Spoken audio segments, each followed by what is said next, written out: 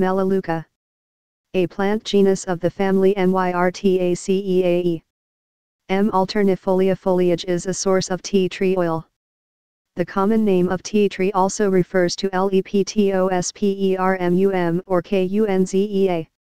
M. viridiflora is a source of niaouli oil. M. cajuputi and M. leucodendra are sources of cajuput oil.